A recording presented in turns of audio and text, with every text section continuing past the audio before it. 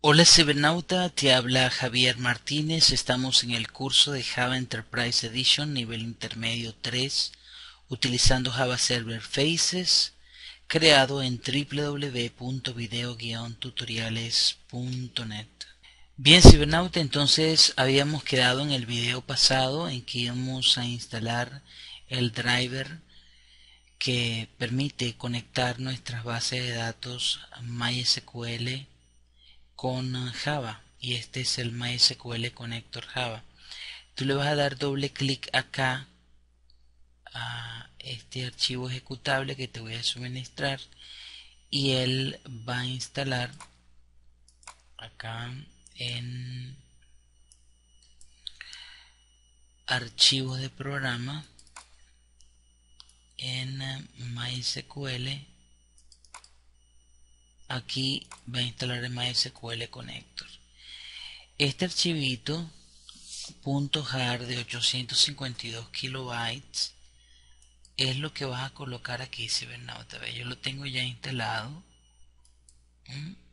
vas a colocar acá donde dice webinf te vas a la parte donde dice live y luego le dices importar archive file. Ve que aquí ya lo tenía predeterminado. Hago un browse. Él me va a salir aquí MySQL connector. Escojo le doy a abrir.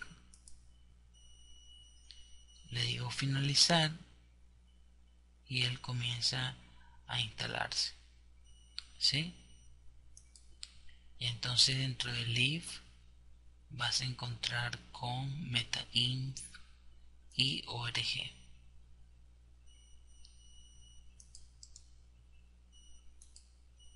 entonces esta pruebita que hice acá la voy a eliminar y dejo todo incluido en lib con metainf y org ahí donde está el driver para poder hacer la conexión.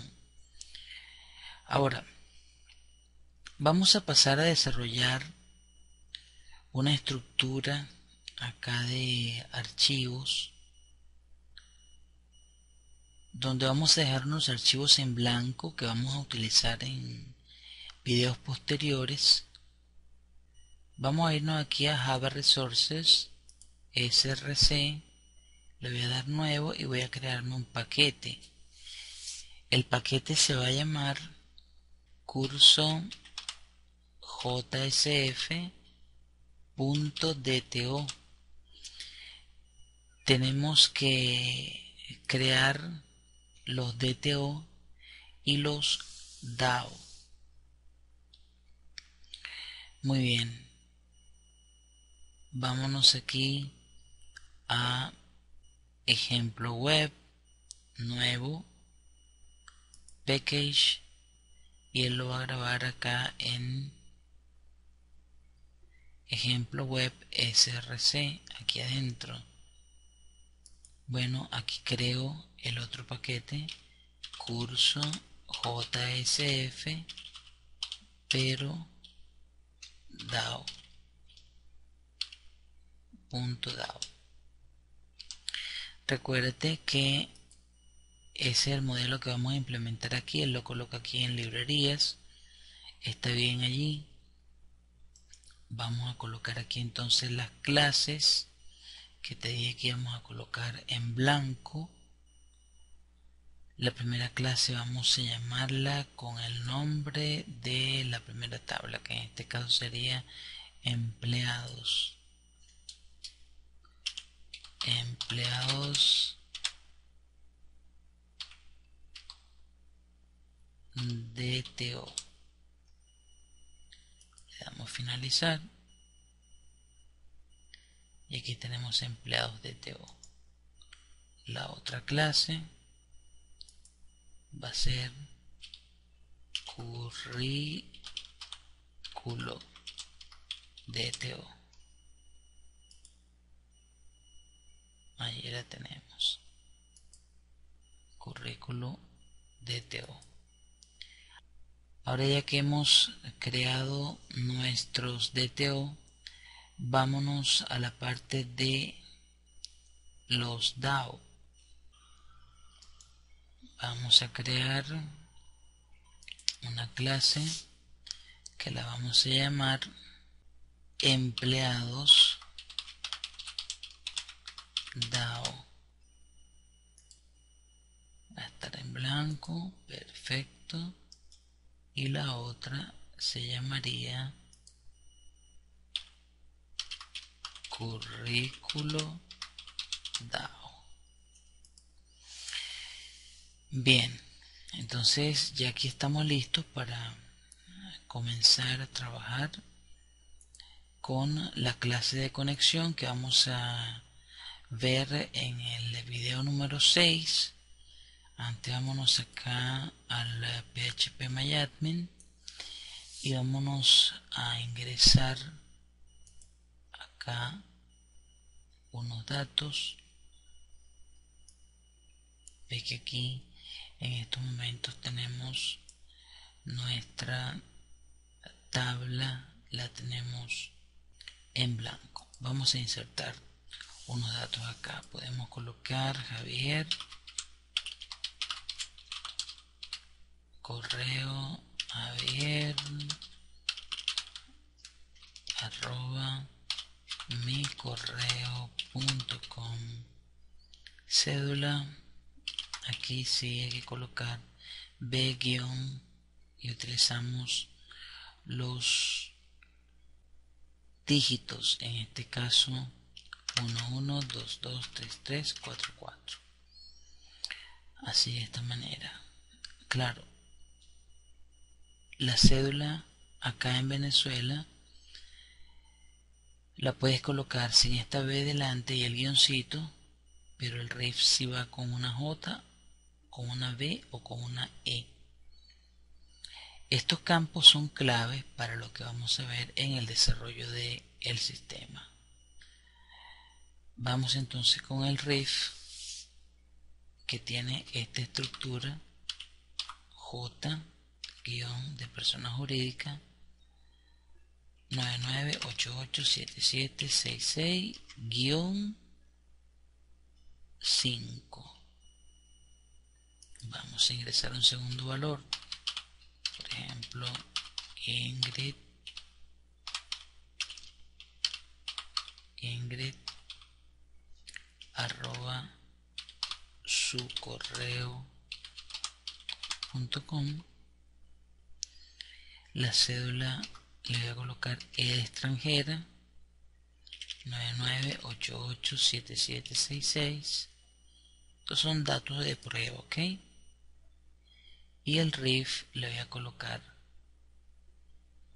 B, o sea, tiene la cédula extranjera y puede tener un RIF de venezolano, ¿sí? Nacionalizado 11223344-5.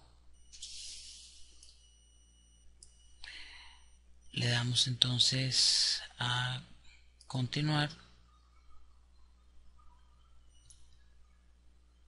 y tenemos acá dos filas insertadas las revisamos y vemos. Javier 1 Ingrid 2 aquí vemos los datos ¿sí? ahora ve cibernauta si nos vamos a las tablas vamos a ver que currículum todavía no tiene nada. Pero si utilizamos aquí una instrucción SQL para crear el eh, índice que nos quedó pendiente en el video pasado tendríamos entonces que utilizar una sentencia SQL para el alter table. Sería en este caso alter table. La tabla que voy a alterar es currículo.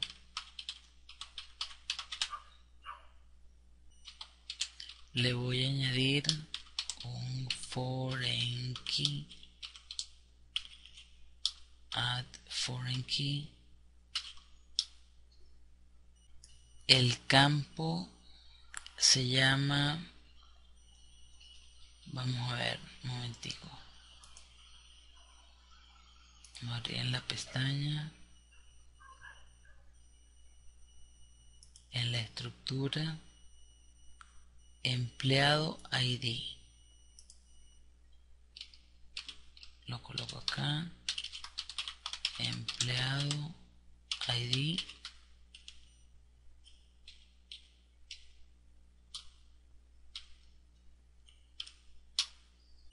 y ahora tengo que hacer la referencia hacia la otra tabla que sería empleados y cuyo campo es ID coloco acá. Referencias. Empleados. Empleados en plural. Ok. Y id le damos continuar. Y dice que su consulta se ejecutó con éxito vamos entonces a ver acá nuestra tabla. Vamos a insertar unos datos y vamos a ver aquí algo. Mira ve aquí tenemos 1 y 2 es decir que aquí no podemos tener error al incluir estos eh, datos ya que precisamente están estos dos códigos disponibles nada más. Vamos a colocar aquí programador